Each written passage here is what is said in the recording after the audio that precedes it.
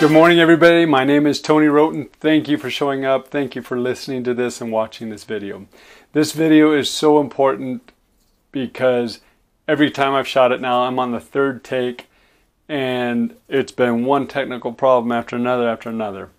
And I had just finished listening to my mentor, Kirk Duncan, who said, anytime you're about to share something that's very important, everything will try to stop it. So obviously, this message is extremely important, and I hope you enjoy it. My daughter and I just got back from a softball tournament in Colorado. And while we were in Colorado, one thing that I noticed with every parent is the amount of pressure that they were putting on their children. And, you know, hey, you shouldn't have missed that. Hey, you this and that, you know, yelling at them you know, not in a negative way for the most part, except for one parent in particular.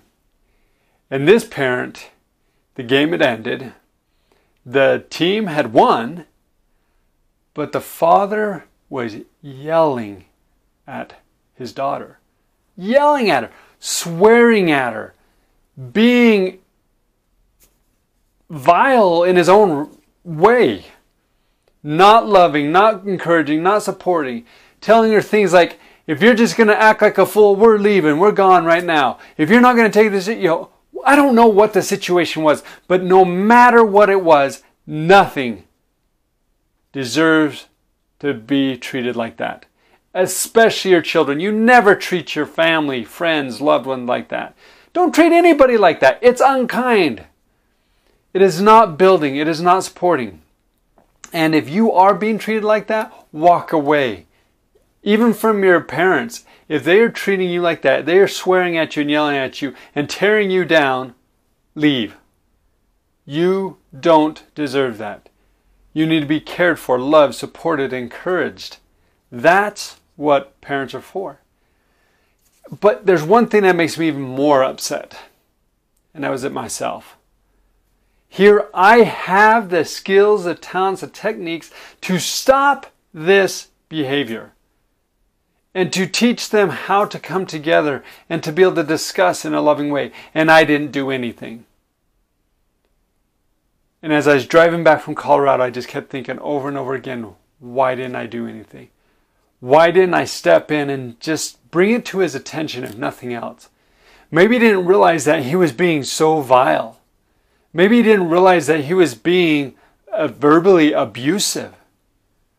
And I feel so bad for this young lady on this team. And hopefully, this guy's watching it. I don't even know who the man was. The team was a Utah team. And so, if you acted like this, hopefully you're watching this and you realize that there was damage that may have been caused. No, not may have been. There was damage that was caused. Damage to the relationship, damage to her self esteem, damage to the whole situation, damage to her performance for the next game, damage for the trauma that she experienced. Because obviously, when you're in that, you don't want to be around that. You kind of hide your face, you, you shun everybody. And I watched this girl. She went back into the dugout and she just sat down. Sat down, you could see she was crying. And I thought, man, if only the Father would have handled that better. And that's what I want to share with you today. How to handle situations like that. My son was doing an interview. He, he wanted to be on this. I said, okay, let's do it. We took three takes excuse me, two takes, and then he had to go, he was going to his cousin's. And so I'm going to try to put it together, but the audio is bad. It is bad, and I apologize for it, but it's worth uh, listening to. These skills techniques that I keep sharing with you and that I've taught you in several videos, my son implemented these in his life to change his life, and he's only 11 years old. He went from stealing things to implementing a declaration so that he didn't steal anymore. He went from finding being always angry to implementing a a skill and a technique to get away from it. Does he do it all the time? No. Does he practice it? Yes. Is it a challenge? Yes. But in his interview, he talks about how I treat him. Now, I'm not a perfect parent. I've lost my temper with my children. I've yelled at them and told them, you know, go clean this or go do that or and so I share this because what I do do still encourages and supports and loves them. And in his testimony, he shares it himself. But one of the things that is so important is if we act like that, if we lose our temper, go back and apologize. I don't care who you are, you're not above an apology. If you act like that toward your spouse, toward your children, toward a friend, towards a loved one, eat humble pie and go say sorry. It's the best thing you can do. I, I wish I would have done something. And I encourage you that when you see the situations like that, step in, bring it to their attention. Maybe just ask the question is, hey, do you love your daughter? Daughter, do you love your dad? Well, they may say no. And you got to be kind of ready for that. And if they say no, then you say, you know what? Then I want to teach you something that will help to bring your relationship together, that will help it to be strong and unified and unbreakable. And teach them these skills. But I want to just really quick so the skills that we've been teaching you for, you know, I've done over 150 videos, so you have to go back and look, and I'll link it into the into the uh, description and comments. But if we treat others bad, they will treat others bad most of the time. This is this is a, a generalization, but most of the time they perpetuate the problem. It is repeated over and over and over again until somebody stops it. And there comes that point where if the person is not repeating it, then they shut down. And when they shut down, that's when they go into depress.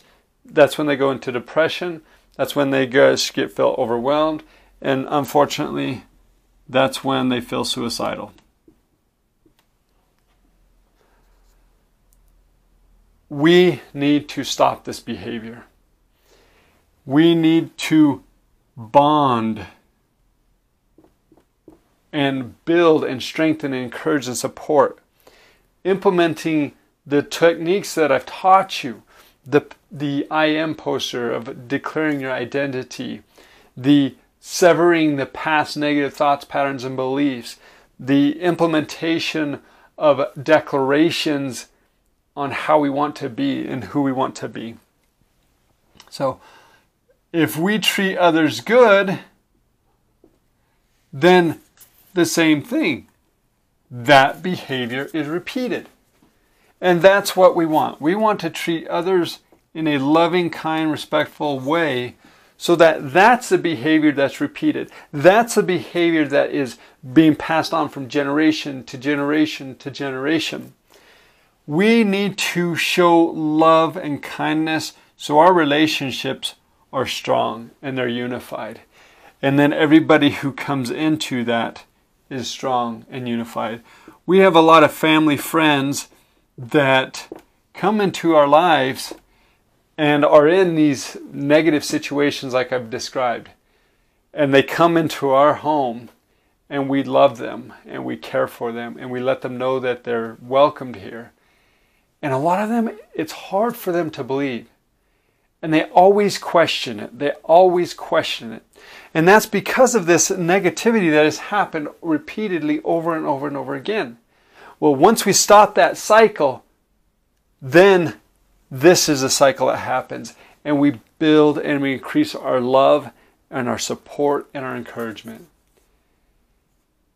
If you spill this vitriol, this negative, this vile blah, I challenge you right now to stop.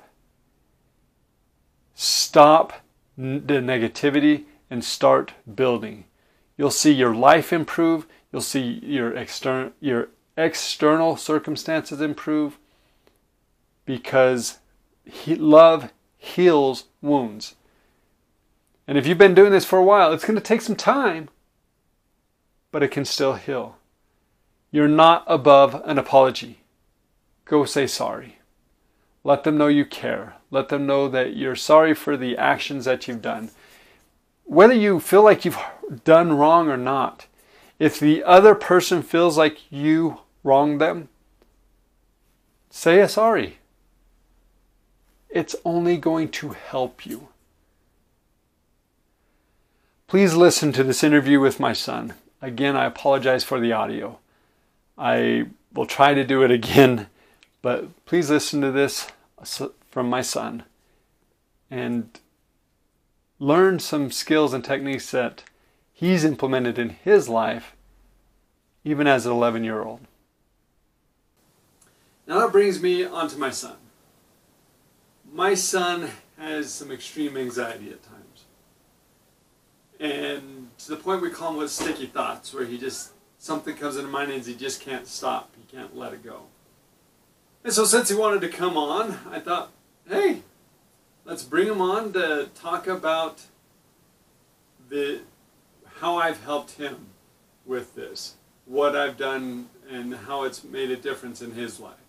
So with that, I'm going to bring on my son. Come on, Levi. And he, he's doing this out of his own floor. Oh, we can't see you. Look at it, too small. I'm too small. okay, climb up there, bud. Keep going, stand up. There we go. so this is my son Levi. And what What are some of the struggles that you've had in life that have kind of helped you with? Calling names, hitting, uh, being aggressive to my parents and to my siblings. So calling names, hitting, being aggressive to your parents, and what What's one other one? I got another son that's trying to photobomb right now too what what is what one of the other things that we worked on right now? Not right now, but what is one of the other things we worked on, especially during school time, when we were uh, having a getting more friends. A stealing issue. Oh, not stealing. Yeah, not stealing. stealing. So can you tell? Look into the camera and tell them some of the things that you've you've done to help you to be better. Um, so uh, he taught me to make my own de- declaration, and I made my own declaration for not stealing. And do I say it? Yeah, go ahead. Okay, it, it's uh, I will not steal or lie because I am a child of Jesus Christ, and Jesus Christ is a child of Heavenly Father. Heavenly Father never stole or lied, so I will not steal or lie. So that was his own declaration. I didn't make it up for him. I just told him to come and create a declaration that when you feel that urge to do something, that you'll be able to say this and it will stop you. Okay? So, what else? What are some of the other things, skills that you've learned? I'm going to slide over just a bit. What are some of the other skills that you've you've learned? Um, to just walk away from that thing. Uh, like just walk away from whatever it is, so that you don't get sucked into it and want it or yeah want it. So. Okay, and how about before your anger and things like that? What what's one of the techniques that you've um, implemented? Breathing uh, like deep breaths, and uh, walking away again, and Uh, what skill did you implement to help with your anger? What's something that when you get angry, Um, walk away and uh,